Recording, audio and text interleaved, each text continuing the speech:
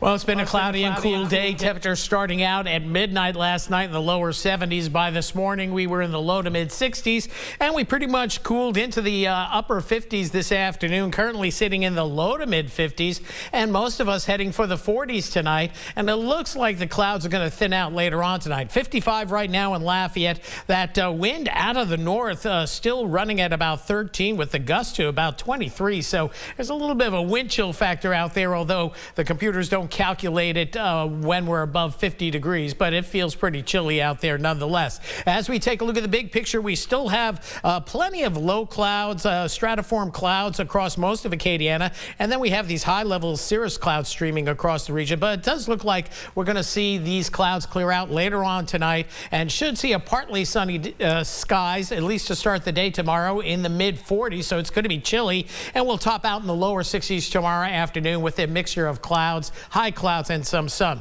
Temperature-wise, we see lows getting down into the mid-40s tonight, mostly in the 50s tomorrow. We'll top out at about 60 to 62 degrees for most of the area, with, again, a mixture of clouds and sun. Not nearly as dreary as it has been over the last couple of days, that's for sure. Moving forward, we have more clouds on the way as we head into Thursday. Maybe some light precip Thursday night for Thanksgiving night. We'll talk more about that and have the complete TrueView forecast that carries us to December 1st coming up in just a little bit.